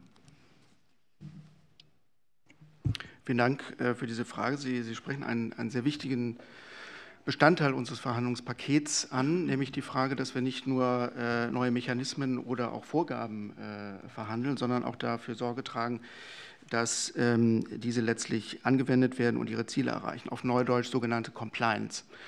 Ähm, ich will das ganz, ganz kurz im, im Schnelldurchlauf durch die Paketbereiche ähm, abhandeln. Ich glaube, bei den Meeresschutzmaßnahmen ist das Modell, was die EU vorgelegt hat, moduliert an dem, was wir zum Beispiel aus Kamla kennen, dass wir Managementpläne haben, die klare Ziele und Maßnahmen vorgeben und dass das flankiert wird durch wissenschaftliche Begleitung, sogenannte Research- und Monitoring-Pläne. Und dass die Vertragsstaatenkonferenz regelmäßig äh, nachhält mit wissenschaftlicher Unterstützung durch ein Gremium oder durch ad hoc wissenschaftliche Beratungsfunktionen, ob diese Ziele auch erreicht sind und auch nachsteuern kann. Und das dann auch weitergibt, in dem Fall, wo sektorale äh, Akteure wie die Internationale Schifffahrtsorganisation oder regionale Fischereimanagementorganisationen betroffen sind und diesen Impuls weitersendet. Ähm, rechtlich, völkerrechtlich können Sie aber diese Organisation nicht direkt verpflichten, sondern der Ansatz ist, dass Sie das in, durch die parallele Mitgliedschaft, nehmen Sie Deutschland, wir wären Mitglied in einem BBNJ, in einer BBNJ-Konvention, sind gleichzeitig Vertragsstaat in der Internationalen Schifffahrtsorganisation, sich zusammen einsetzt, auch als EU einsetzt, dass diese Dinge dort auch ähm, Delegates umgesetzt werden. Im Bereich marine Genressourcen, da geht es für uns vor allen Dingen darum, dass die Grundlagenforschung zu marinen Genressourcen ähm, auf der Hohen See und zum Tiefseeboden ähm, der Informationsaustausch und der Wissensaustausch befördert wird. Das sind bisher sehr freiwillige Mechanismen. Und letztlich führt das hin zu der Beantwortung, Sie müssen das nicht immer mit, Sie haben das Stichwort Sanktionen ähm, erwähnt. Ich glaube, ein wichtiger Ansatz heutzutage ist auch, dass Sie einfach Transparenz herstellen und dass, sie, äh, dass jeder nachlesen kann. Und damit ist wirklich jeder gemeint, inklusive der Zivilgesellschaft, aber auch der interessierten Vertragsstaaten. Was ist wirklich passiert? Welche Informationen werden geteilt? Und das wäre auch der Ansatz für den dritten Paketbereich, Umweltverträglichkeitsprüfung. Es reicht nicht, dass wir nur die Kriterien und die Schwellenwerte weiter ausdiskutieren und sagen, so muss es ablaufen, sondern das ist auch eine Forderung der EU, die auch maßgeblich durch Deutschland mit äh, vorgetragen wurde, dass wir auch sehen, dass diese Berichte transparent der Weltöffentlichkeit gezeigt werden, was ist da rausgekommen bei der Umweltverträglichkeitsprüfung. Und auch wenn wir nicht völkerrechtlich vorgeben können, so und so wird es durch den jeweiligen Vertragsstaat letztlich die Konsequenz gezogen und umgesetzt, sehen können doch, was passiert damit. Das meine ich damit mit diesem, mit diesem politischen äh, mit dieser politischen Beobachtungsfunktion. Und dazu brauchen Sie auch Mechanismen, um diese Transparenz herzustellen. Und die haben wir bisher nicht. Und die Hoffnung der europäischen Staaten ist, dass wir deswegen auch diese Mechanismen über das Übereinkommen, ganz ungeachtet des, wo wir letztlich am Ende dieses Prozesses mit dem Ambitionsniveau landen, dass wir diese Mechanismen einrichten. Und ähm, alles andere zur Compliance kann ich Ihnen zum gegenwärtigen Stand en Detail nicht erläutern, weil ich habe das eingangs äh, äh, bereits erwähnt. Wir müssen uns erstmal einigen in New York über die wirklichen Kernfunktionen und wo wir letztlich für alle vertretbar, auf welchem Niveau wir dort landen. Und dann werden wir uns unterhalten, wie wir letztlich diese Ziele des Übereinkommens auch mit vernünftigem und modernen Compliance unterlegen. Und wenn Sie auf den, als letzte Bemerkung, wenn Sie auf den modernen, äh, das moderne Klimavölkerrecht schauen, nicht alles an Compliance muss immer völkerrechtlich verbindlich sein. Vieles ist einfach der Prozess und die Transparenz, dass Sie sehen, Staaten berichten und jeder kann nachhalten, was passiert wirklich. Vielen Dank. Frau Skudelny fragt Herrn Ludden. Bitte. Ja, vielen Dank. Wir haben ja vorhin gehört, dass genau der, der, Schutz der Meere an Land beginnt und das so ein Schnittstellenpunkt ist. Da würde mich noch mal ein bisschen konkreter, als Sie es bis jetzt haben, interessieren, wo denn die strukturellen Unterschiede und Hindernisse sind. Sie haben gesagt, es ist nicht wirtschaftlich, dort eine Anlage hinzubauen. Das ist es auch in Europa nicht. Warum haben wir ähm, Recyclinganlagen und Kreislaufwirtschaft. Wo sind die Hindernisse, die strukturellen Rahmenbedingungen, Hindernisse in den gerade, ich sage es jetzt nochmal spezifisch, asiatischen Räumen, aber auch andere Länder, dass die dort nicht implementiert werden. Dabei geht es mir insbesondere, das hatten Sie mal außerhalb von hier gesagt, nochmal um die Frage Sammlung und Sortierung. Wer trägt dort die Kosten? Was müssen wir vielleicht an Rahmenbedingungen bieten, dass es sich auch in diesen Ländern einfach lohnt, ähm, seinen Müll, seinen Hausmüll im Wesentlichen, nicht einfach in Flüsse und Meere zu verbringen, sondern tatsächlich, dass dieser in irgendeiner Form ähm, einer Wiederverwertung zugeführt wird, zumindest zumindest aber mal nicht der Entsorgung in den Meeren. Ähm, was müssten da an Rahmenbedingungen, auf welche Hindernisse stoßen Sie, welche Probleme sehen Sie und was müssen wir als Mindestrahmenbedingungen haben, damit wir dort eben geschlossene Systeme implementieren können zum Schutz der Meere? Ja, danke für die Frage. Also um da nochmal die Ausführung von vorhin weiterzugehen, wenn wir, ähm, also ich bin bestimmt jetzt 15 Mal in China gewesen und ich habe dort einen Partner gefunden, die sehr interessiert sind, eine große Anlage zu bauen. Ähm, dann ging es, ähm, dann ging es darum, was machen wir da? Organische Behandlung, also auch den Organikanteil. Und äh, im Endeffekt ähm, kann man aus Hausmüll, was jetzt den, den Organikanteil angeht, kann ich keinen ordentlichen Kompost herstellen. Ordentlich heißt, Güte gesichert. Ähm, es kann halt theoretisch eine Quecksilberbatterie im Hausmüll sein und damit ist theoretisch auch dieser, äh, dieses, dieses Stabilat, was ich dort erzeuge, ist theoretisch kontaminiert. Und über diesen theoretischen Fall äh, kriegen Sie dort nur ein Stabilat und dann haben Sie kein Produkt. Und wenn Sie kein Produkt haben, können Sie nichts machen. Und äh, das ist der eine Punkt. Also, die, also Organik funktioniert schon mal nicht, wenn sie nicht getrennt sammeln. Also wäre zum Beispiel äh, in China zum Beispiel, also in China ist der, der Anteil der Organik ist 50 Prozent und mehr. Ähm, eine getrennte Sammlung für Organik einzuführen, führt dazu, dass ich sauberes Inputmaterial habe, dann mache ich sauberen Kompost. Äh, sie können chemische, ähm, also Kunstdünger können Sie, können Sie substituieren und das ist ein großer Ansatz und Sie haben schon, wir reden über 50 Prozent des Hausmüllanteils. Dann gibt es ähm, äh, Themen Kunststoffe, wo wir bei, der, bei, bei den Ozeanen von sprechen. Ähm, dort gibt es teilweise äh, informelle Sektoren, die, was in der Sammlung relativ gut funktioniert, wenn es um, wie gesagt, diese Wertstoffanteile gibt. Ähm, die Dinge, die sich dort nicht rechnen, die bleiben liegen und werden nicht, nicht genommen. Ähm, wenn man dann spricht, was muss man tun, was müssen, die, was müssen die Regierungen tun in diesen Ländern, dann gibt es Untersuchungen der Weltbank, die sagen, man kann 0 bis 0,5 bis 0,8 Prozent des Bruttoinlandsproduktes für Abfallwirtschaft einsetzen. Wenn Sie das in Deutschland rechnen, dann kommt da ein Betrag zusammen, damit geht das einigermaßen. Wenn wir da aber über äh, Entwicklungsländer reden und 0,5 bis 0,8 Prozent, äh, dann kommt da ein Betrag zusammen, da können Sie, da können Sie einfach nichts mitmachen. Das heißt, an der Stelle muss international unterstützt werden, weil sonst kriegen Sie diese Reststoffe nicht behandelt und Sie kriegen sie auch nicht erfasst. Ähm, dann gibt es äh, Themen im Bereich Ersatzbrennstoffe. Also wenn Sie dann wenn Sie da sich die, die Wertstoffe, wenn Sie die rausnehmen und da was mitmachen, selbst wenn das dann irgendwie funktioniert, dann bleibt eben auch ein Bereich, der zum Beispiel in Zementindustrie als Ersatzbrennstoff eingesetzt werden kann. Ähm, das sind genau Themen, das muss qualitätsgesichert sein. Und da an der Stelle muss man auch eingreifen, da muss man Lösungen finden. Und da muss man insgesamt brauchen wir Geld, die in die Abfallwirtschaft reingeht. Die Weltbank sagt, dass, wenn ich von 100 Prozent Hausmüll spreche, dass es ein, ein, äh, ein Leck oder ein Gap gibt von circa 30 bis 35 Prozent der Kosten, wenn ich auf äh, zehn Jahre schaue. Das heißt, was heutzutage in der Förderung passiert, ist, dass man sagt, wir unterstützen die Investition.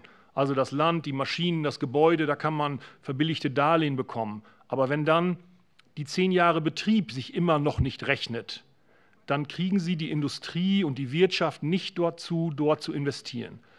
Und dann ist, die dann ist die einzige Möglichkeit, die bleibt, ist, dass eine Kommune, dass die investiert. Und die Kommune ähm, tut sich in diesen Ländern schwer, dort solche Projekte aufzusetzen. Äh, man weiß vorher, dass man dort zehn Jahre oder 15 Jahre lang äh, Geld reingeben muss. Äh, man weiß nicht, wo das Geld herkommt. Dann werden Anlagen gebaut, die werden nicht ordentlich betrieben, die funktionieren dann auch nicht richtig. Ähm, dann, dann, dann schaut man dort, was passiert. Dann hat man eine Anlage gebaut, die ist vielleicht sogar gefördert worden, aber nach fünf Jahren ja, ist die halt einfach nicht gut weil sie nicht ordentlich betrieben wird, weil dieser Betrieb Geld kostet. Und an der Stelle glaube ich, dass man dort wirklich über, über Unterstützung, und zwar in Form von Geld, kann man sehr schnell sehr viel erreichen. Und das ist, glaube ich, auch der Ansatz, ähm, den man hier mit berücksichtigen muss. Wenn wir über Schutz der Weltmeere sprechen, dann glaube ich, dass man mit Abfallwirtschaft sehr schnell in der Lage ist, sehr viel zu machen. Der, ähm, der, der geht dann auf den Eintrag der, der Kunststoffe und ich habe mir das mal nachgeschaut. Es gibt zehn oder die, die zehn größten Einträge von Kunststoff in die Weltmeere liegen äh, in Südostasien und in Afrika. Das sind die zehn eintragsstärksten Flusssysteme. Und äh, wir müssen also, in Deutschland können wir was machen, aber wir müssen sehen, dass wir in Südostasien dort die Abfallwirtschaft an Land stärken. Und zwar genau in diesem Fall, weil, weil wir dann sehr schnell was erreichen können. Das ist der Vorteil, den wir da haben. Dankeschön. Die nächste Frage geht an Herrn Unger und kommt von Herrn Lenkert für die Linke. Ja, vielen Dank, Frau Vorsitzende. Herr Unger, Sie führten vorhin aus, dass das internationale Seerechtsübereinkommen von vor 40 Jahren bereits doch relativ gute Regeln hat. Zum Beispiel bei Förderung von Rohstoffen aus der Tiefsee. Jetzt ist es natürlich so, dass wir leider feststellen müssen, dass immer dann, wenn etwas nicht erreichbar ist, ein Abkommen relativ leicht zu schließen ist. Und wir bedauern als Linke außerordentlich, dass das Vorsorgeprinzip immer dann über Bord geworfen wird, wenn wirtschaftliche Interessen dem entgegenstehen und dann wird sofort auf das Wissenschaftsbasierte umgestellt. Die Debatte hatten wir vorhin zu einem anderen Thema. Deswegen die Frage an Sie, an welchen Stellen sehen Sie den größten Forschungsbedarf, damit wir jetzt schon im Prinzip die wissenschaftsbasierte Argumentation führen können für den Fall, dass wirtschaftliche Interessen das Vorsorgeprinzip über Bord werfen wollen? Die erste Frage. Die zweite Frage, wie bewerten Sie eigentlich die Verhandlungen, die Haltung von, USA, äh, von China und von Russland? Inwieweit sind die auch abhängig von der Gesamtsituation im internationalen Maßstab, sprich von den Spannungen? Also inwieweit schlagen aus Ihrer Sicht Sanktionen gegen Russland, Handelskrieg zwischen USA und China auf die internationalen Governmentsverhandlungen zum Meeresschutz durch? Und diese Frage, wenn Sie noch eine halbe Minute Zeit lassen würden, würde ich auch gerne an Herrn Genrich stellen. Genrich stellen. Vielen Dank, äh, Herr Lenkert, für diese Frage. Ähm, ich würde vielleicht auf zwei Teilbereiche hier antworten wollen. Zum einen erstmal mit Blick auf ähm, den ähm, möglicherweise startenden Tiefseebergbau. Und hier haben Sie natürlich völlig recht, äh, und das steht ja auch zum Glück im äh, Seerechtsübereinkommen drin. Das Vorsorgeprinzip ist natürlich in Situationen, wo wir eben nicht genug Wissen haben, erstmal anzuwenden. Und äh, hier sagt natürlich das Wissen, was wir haben, erstmal einen klaren Hinweis, dass diese Aktivitäten einen starken Schaden anrichten würden und im Grunde genommen nicht vertretbar sind. Ähm, das Ding ist jetzt, mit der Zeit wächst unser Wissen und es wird also gerade im Moment sehr viel publiziert. Also wir haben einen wirklich rapide wachsenden Körper an wissenschaftlicher Literatur dazu, der aber in die gleiche Richtung zeigt. Es gibt also wenig Hinweise darauf, dass sich diese sehr, sehr empfindlichen Meeresgebiete wieder, wieder erholen. Ähm, Ideen, die man vielleicht von Land hat, dass sich da dann irgendwie so eine Art Renaturierung nach vielen Jahren ähm, entwickelt, das ist so nicht festzustellen. Es gibt Beispiele, die sind sehr plastisch. Ähm, deutsche Meeresforscher haben vor 30 Jahren etwa ein Gebiet äh, im Pazifik mit einer Art, muss man sich vorstellen, Ackerpflug umgeflügt und man ist jetzt 30 Jahre, also eine Generation später wieder vor Ort gewesen und sieht, dass sich eigentlich nichts verändert hat. Also diese Idee, der, hm, es erholt sich irgendwann wieder, das ist nicht sehr realistisch. Und dieses, ähm, sage ich mal, zunehmende Wissen zeigt eigentlich eher, dass, wie wenig wir verstehen. Also je mehr man anfängt zu untersuchen, desto mehr erkennen wir doch, es ist eben nicht dieser äh, Lebensraum, der gleichförmig und monoton ist und irgendwie weit weg, sondern hochgradig divers, ganz faszinierend, unglaublich empfindlich. Und bevor also hier ähm, so eine Aktivität gestartet wird, die möglicherweise eben ganz starke Schädigung, Schädigung hervorruft, sollte man nochmal wirklich auf die Bremse treten und sagen, ähm, Initiativen wie jetzt die UN-Dekade für Nachhaltigkeit, für Wissenschaft, Meereswissenschaft für Nachhaltigkeit, die von 2021 bis 2030 laufen soll und von der UN angestoßen würde. Deutschland übernimmt hier übrigens eine ganz ähm, ähm, ähm, starke Rolle, indem hier die erste Vorbereitungskonferenz organisiert wird. Also die Meereswissenschaft ist wirklich hier stark gefordert und muss unterstützt werden, dieses not notwendige Wissen zu erlangen. Vielleicht auf Ihre zweite Frage, China, ähm, Russland. Also selbst bin ich bei den UN-Verhandlungen äh, von Anfang an mit dabei gewesen, seit über zehn Jahren. Ähm, und die Positionen meines Erachtens haben sich in Bezug auf diese Länder nicht besonders stark verändert. Also ich habe nicht den Eindruck, dass das, sage ich mal, an, an Konjunkturen der, ähm, der ähm, internationalen Politik äh, liegt, sondern auch vielmehr beispielsweise mit Blick auf China, äh, mit Blick auf Russland. Generell, wir sehen das auch bei Kamela, eine Zurückhaltung, ähm, was solche Konzepte angeht, wie Meeresschutzgebiete und so weiter. Ähm, mit diesen Ländern ist es sehr wichtig, jetzt in den Dialog zu treten und gemeinsam auch ähm, Lösungen zu finden, weil das ist eben am Ende des Tages wichtig, dass wir möglichst viele Staaten in dieses Abkommen reinziehen. Also ein ganz starkes Abkommen ohne zentrale Akteure ist natürlich auch ein schwaches Abkommen. Und das ist natürlich jetzt im, im kommenden Verhandl oder im weiterlaufenden Verhandlungsprozess außerordentlich wichtig. Erlauben Sie mir vielleicht noch mal ganz kurz einen Blick, ähm, weil Sie auf diese geopolitischen Fragen Bezug genommen haben. China ist ja dabei, auch mit einer Art Seidenstraße für die Meere, wirklich die Ozeane als wirklich äh, Raum zu entdecken für die ähm, weitere ähm, Politikgestaltung auf internationaler Ebene. Und gerade hier bedarf es auch einer wirklich strategischen Antwort Deutschlands, nicht nur in Bezug auf China, sondern insgesamt, wie die Ozeane in Zukunft zu verwalten sind. Das ist ein Thema, wir sehen es bei G7, bei G20, in Davos, es steht ganz oben auf der Agenda und wir müssen hier in Deutschland auch Antworten finden, die unsere gesamte Politik in diesem Bereich stärker zusammenbringt und nach unseren strategischen Interessen ausrichtet. Dankeschön. Und die letzte Frage kommt von Frau Lemke für die Grünen und geht entweder und an Herrn Mark und Herrn Unger. Ich hatte es gar nicht aufgeschrieben für die zweite Runde, an wen ich mich richten möchte, sorry. Aber da Sie zum Tiefseebergbau jetzt schon äh, geantwortet haben, würde ich mich gerne an Herrn Mark wenden und an Herrn Genrich. Äh, an äh, Herrn Mark ganz kurz, äh, wie beurteilen Sie den Vorschlag äh, vom IS, ISS äh, für eine Ozeanstrategie? Das ist ja eine der Kernforderungen, die Herr Unger hier reingestellt hat. Äh, was sagt Greenpeace bzw. die High Sea Alliance dazu? Und an Herrn Genrich meine Frage, fühlen Sie sich denn eigentlich innerhalb der Bundesregierung gut aufgestellt für diesen extrem komplexen Verhandlungsprozess? Also äh, wie sieht es mit der äh, Zersplitterung der Zuständigkeiten innerhalb der Bundesregierung aus? Äh, wäre es für Sie hilfreich, wenn es kein Vertragsverletzungsverfahren bezüglich der Verletzung der Meeresstrategie-Rahmenrichtlinie gegen Deutschland auf EU-Ebene geben würde? Wäre das hilfreich, wenn man diesen Hemmschuh, also dass wir hier unsere Hausaufgaben nicht gemacht haben, äh, wegnehmen würde? Und wie stehen Sie zu dem Vorschlag einer deutschen Ozeanstrategie? Also das knüpft an die Zuständigkeiten an. Könnte man da was bündeln? Wäre da äh, bessere Verhandlungsposition mit erreichbar? Vielen Dank für die, ähm, für die spannende Frage. Ähm, vielfach wird dieser BBNJ-Prozess verglichen mit dem Paris-Abkommen für die Meere, analog zu dem ähm, Pariser Klimaabkommen. Ähm, ich glaube, ganz sicher sagen zu können, dass das Pariser Klimaabkommen nur zustande gekommen ist wegen, wegen, treibender, wegen treibender Kräfte, wegen, wegen Akteuren, die, ähm, die, das, die das wirklich wollten. Das heißt, auf die konkrete Frage, braucht Deutschland eine Meeresstrategie, würde ich sagen, auf jeden Fall. Und ähm, aus unserer Sicht ist es absolut wünschenswert, dass, dass Deutschland eine Führungsrolle einnimmt ähm, in der EU, in, dem, äh, in der Entscheidungsfindung ähm, in, in, in der EU um ähm, äh, tatsächlich mit den möglichst progressiven Positionen in die Verhandlungen für diese, für diese BBNJ reinzugehen.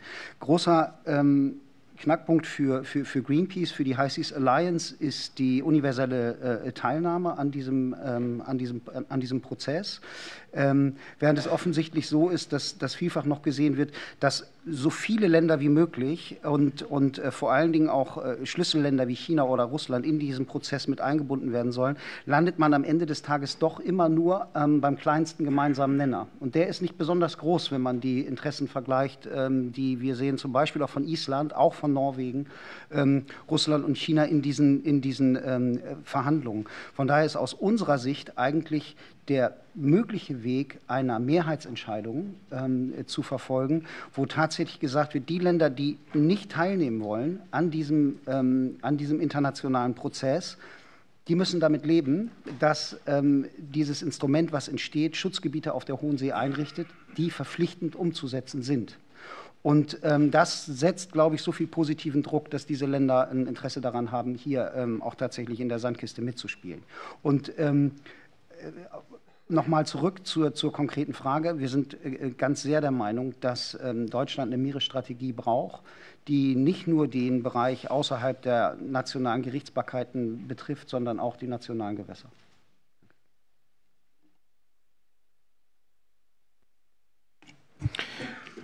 Ja, vielen Dank, Frau Abgeordnete Lemke, ähm, für Ihre, für Ihre an mich gerichtete Frage. Ich bin heute als Sachverständiger geladen, nicht äh, in erster Linie als äh, Vertreter eines Ressorts der Bundesregierung. Ähm, ich kann zu Ihrer Frage, fühle ich mich gut aufgehoben in diesem Verhandlungsprozess, äh, Ihr Stichwort Zersplitterung, nur antworten, ja, ich fühle mich sehr gut ähm, aufgehoben. Es geht weniger um Zersplitterung, sondern es geht wirklich um Einbringung jeder bereichsspezifischen Expertise, die unsere Ressorts, und es sind viele, weil wir in fast allen Bereichen dieses großen Verhandlungspakets als Deutschland Interessen haben, von der Forschung, der Schifffahrt, der Fischerei, vor allen Dingen auch der Wissenschaft, die Meeresforschung, wir als Auswärtiges Amt auch von dem grundsätzlichen Erhalt und der Umsetzung der Effektivierung äh, der Seerechtskonvention sehr große Interessen haben. Und wir tun das, äh, oder ich werde sehr gut bedient, äh, muss ich sagen, durch die zuständigen Ressorts, die eben auch die entsprechende Fachexpertise haben.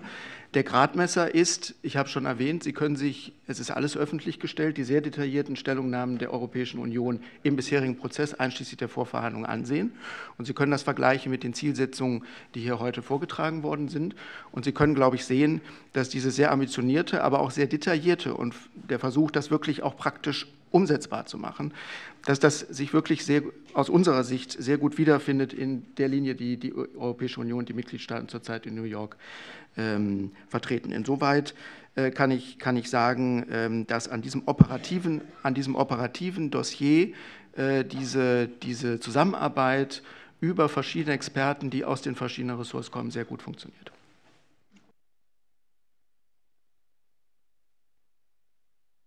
Also da bitte ich um Verständnis, dass ich, dass ich dazu heute, ähm, das ist ja eine politische Frage und Bewertung, dazu nicht als Sachverständiger äh, antworten möchte.